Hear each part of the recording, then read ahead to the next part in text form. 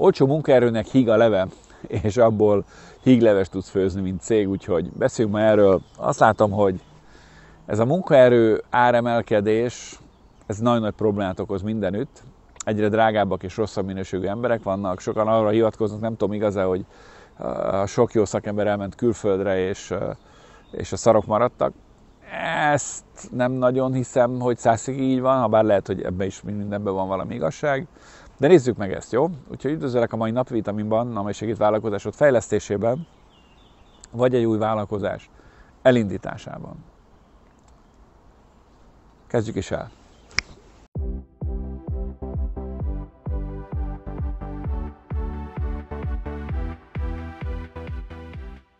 Az itathatatlan, hogy sokan eddig úgy gondolták az építőiparban, hogy mentek fel az árak, ugye volt az áfamentesség, vagy 5% áfa, azt hiszem, tehát kedvezményes lehetőségek, amivel többet keresett a vállalkozótól, az árak nem lettek jelentősen olcsóbbak, nem ment át a vevőhöz az előny sajnos.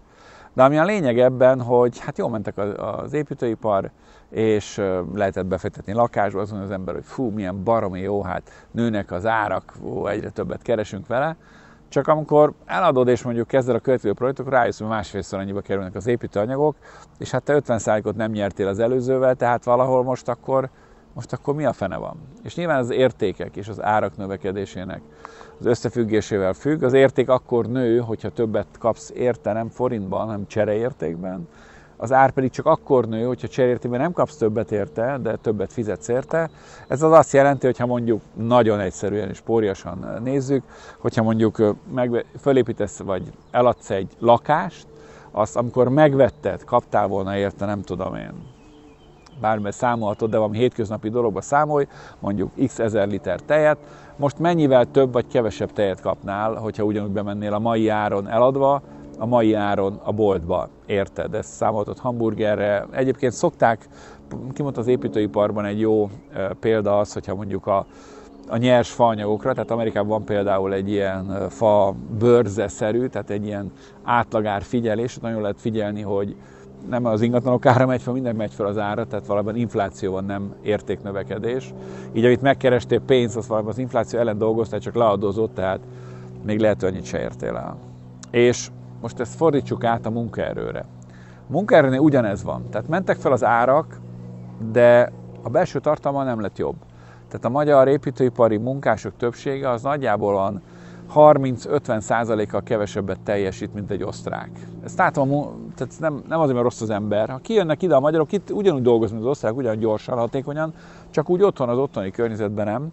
Hogy sétálgatnak az építkezésen, időnként cigiznek, összeülnek, bicskával kajálnak, egyebek, ilyet itt nem látsz Ausztriában. Jönnek a munkahelyre és dolgoznak a munkán. Tehát fel annyi ember van általában egy adott feladatra, mint Magyarországon, nem ülnek, cigiznek, nem sétálgatnak, a mozgásuk sebességén is látszik, hogy valaki Nordic walkingol, tehát halad, vagy, vagy eh, francba csak eltelik ez a rohadt kurva munkaidő. És tehát nem nőtt, úgy érzem, a hatékonyság, nem lettek jobbak a magyar szakemberek, de sokkal drágábbak lettek.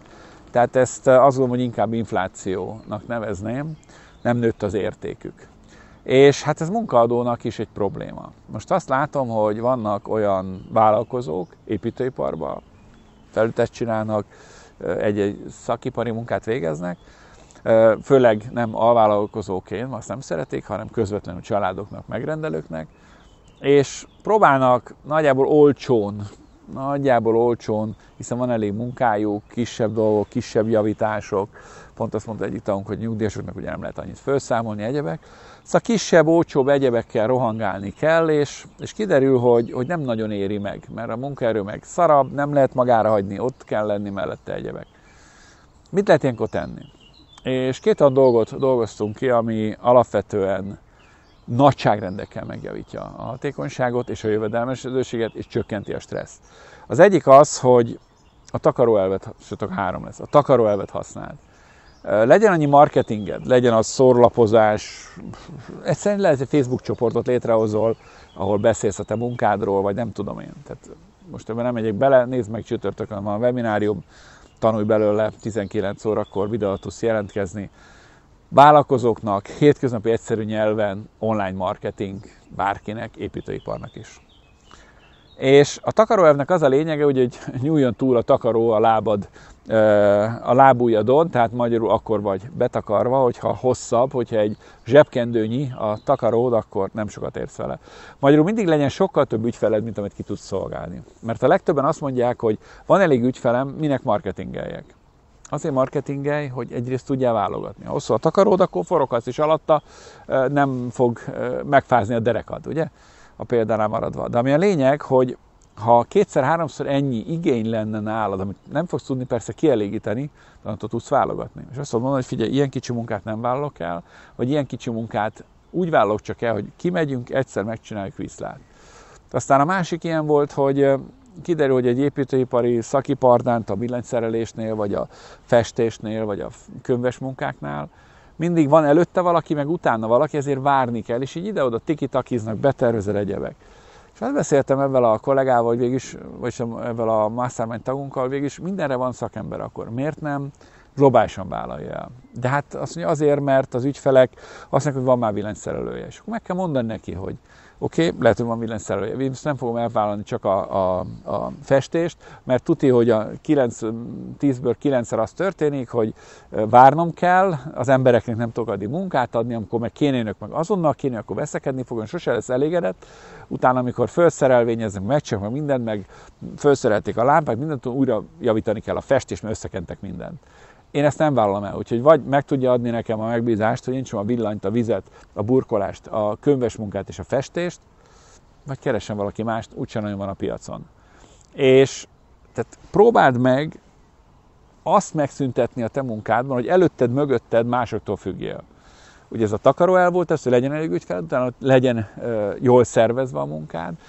A másik az, hogy kicsi csomó a munka volt, hogy kimentek valahova, és akkor megvette a, a konyhabú, és a fürdőszoba bútort, a, a mosdó alá a szekrényt, a tulaj, mert az tetszett neki valahol. Máshol vette egy mosdót, vette egy csapot még, vett hozzá, nem tudom én, szifonokat, és akkor az egészet nem lehetett összerakni, mert nem oda valótok, vissza kellett menni, újra kellett egyebek. Szóval nézd meg, amikor elvállalod, akkor például tedd meg azt, hogy előre eldöntöd, hogy, hogy te veszed, te hozod, mit vegyen, mit ne vegyen.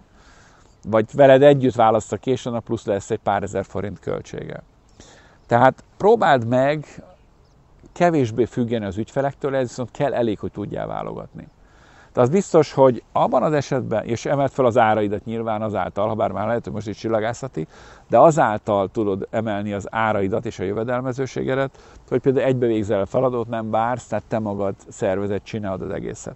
De azáltal, hogyha már több pénzt tudsz keresni, akkor meg tudsz válni az olcsó, vándorló, kurválkodó, tróger, alsó, salak, most direkt szittam őket, de csak nagyítottam, nem bántani akarom őket, biztos, hogy tök jó haverok a kocsmába sörözésnél, de nem teljesítő emberektől. Mert akkor meg tudsz fizetni majd rendesebb embereket, és tudod mi az érdekes, hogyha rendesebb embereket fizetsz meg, és rendesebb munkát azt nekik, ahol nem az van, hogy na figyelj, jövő héten kezdünk a, a Kovács mamánál, csináljuk a, a, a, nem tudom én, a vakolást. Akkor kimennek reggel, és a Kovács azt mondja, ah, még nem fejezte be a villanyát, várjatok még majd délbe. És ott ülnek, Szóval magyarul a sok várakozás, zsákutca, ide-oda, jöjjenek vissza egy hét múlva, nem tervez, ez, a, ez az állandó ide-oda civakodás, ez egyébként a jó embereket tönkreteszi, viszont ha jó munkát tudsz nekik adni, és örömöt és sikerélményt tudsz nekik adni, akkor jobb lesz. És ha ez neked ilyen vizionál, ilyen nagy mesé víziónak tűnik, akkor hát akkor a gondolkodásodon neked kell először változtatnod. Úgyhogy használod a takaró elvet, magyarul mindig sokkal több ügyfeled, mint ki tudsz szolgálni, akkor is marketingelj, ha tele vagy. A következő, emelt fel az áraidat, hogy jó embereket meg tudj fizetni. Három, te irányítsd az ügyfelet a hatékonyság miatt, ne jó ugráltasson össze-vissza, mire te fizetsz rá. Hát ez a gondolat az, ami után azt gondolom, hogy ha a munkatársaiddal jól bánsz, akkor, akkor sokkal nyugodtabb életed lesz, mint vállalkozó, és sokkal eredményesebb leszel. Kíváncsiak a véleményedre, osszad meg velünk. Találkozunk holnap, sok sikert!